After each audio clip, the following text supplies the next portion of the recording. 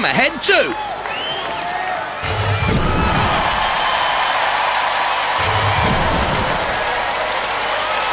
From Preston in Lancashire, Colossus. Fought in the Six Wars, lost its first battle though. Right, this is Team Colossus. Your robot is Colossus. What does it do? Uh, well, it has two 100 mil bore rams in it. It has um, a diamond edge disc running off a 750 motor. Disc at the back, flipper at the front. Yeah, Is that a lethal combination? we hope so. Two wheel chain driven with 11 inch go kart wheels, the body panels of titanium dural with a Kevlar steel knitted wool inner, has the pneumatic flipper and the diamond cutting disc, but is not yet tested in battle. From Brighton in East Sussex and number four seed, Bigger Brother. Runners up in the fifth wars and three time semi finalists. Ian, Yes. we have seen a lot of seeds go out this year. Have you modified your robot? Well, no, it's our turn to go out. See, that's it. That's. We're not going to break the trend here. You're not. You're going to go out straight away. Round one. Round one. Well, we'll try not to, but you know the way it goes. Flipping toss-tastic, mate, so they say. The cobalt titanium rear armour, bulletproof. The spike ram flipper, awesome. Never beaten in the first round of any heat. From Lancing in West Sussex, URO. Newcomers, Team MIBO. Oh, Jane, find out what that means for me. Here you are, men in black, Overalls. liking your work, and your robot is URO for Unidentified rotating object. We are a secret organisation um, devoted to ridding the world of killer robots. how fast is it? We're not quite sure. Uh, we haven't spun it in anger yet, but you'll see it for the first time out there. VWW, very weird and wacky, invertible with an innovative and destructive high mass bidirectional circumferential 2.5 kilogram disc. Now, you know, very inexperienced. From Edinburgh in Scotland, Typhoon 2. The teams fought in previous lightweight and middleweight championships. Now they want this heavyweight to be top of the bill. Now I believe you all you have a family of robots that you've all built. Yes, this is the heavyweight robot.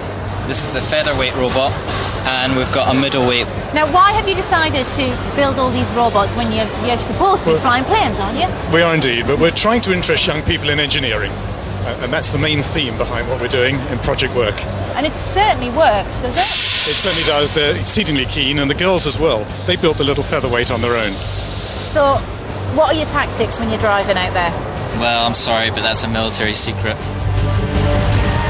So those who are defending our airways and skyways are in fact building robots. A rotating cone with a heavy steel outer ring and four rotating claw hammer cutters. It can topple though before the weapon reaches gyroscopic speed. Roboteers, stand by. The teams then Typhoon on the left hand side, the Edinburgh Air Cadets and URO, captained by Mark Stringer on the right hand side, men in black overalls. Bigger brother, of course, Joe, Ian, and Ellie Watts on the left, and Colossus, captained by Robert Kenyon on the right. In the arena for the house robots, Sir Killalot. Good to see him gleaming, looking mean. Sergeant Bash as dapper as ever. Three, two, one. Activate.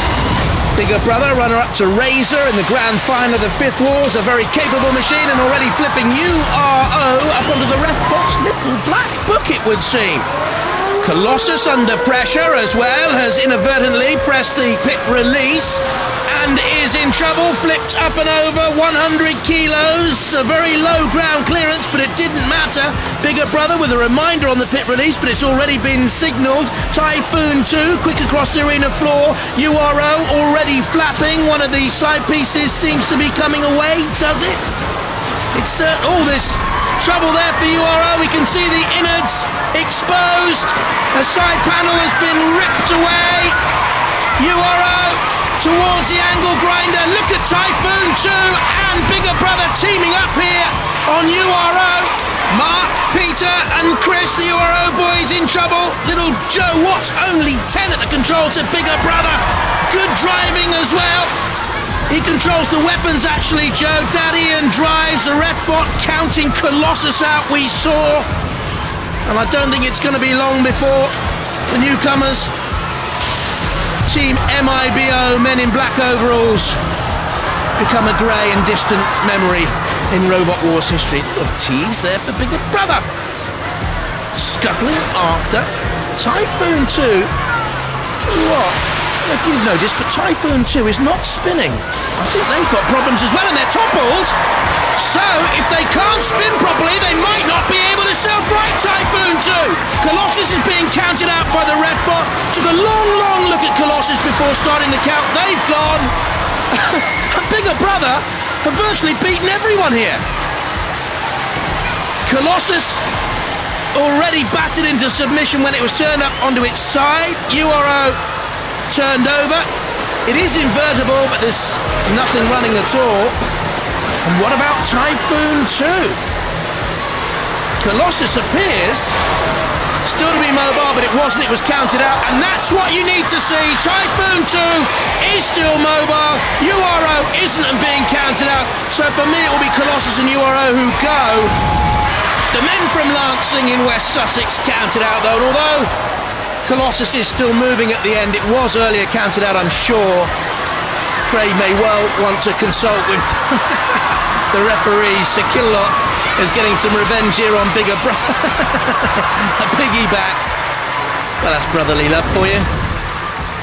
Brothers in arms in the war zone on Robot Wars, the seventh wars. Well, put him down. Bigger Brother lives to fight another day. Shame about Colossus, really. Could have been a worthy robot had it survived.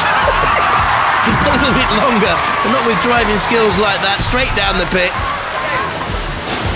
And URO to follow suit.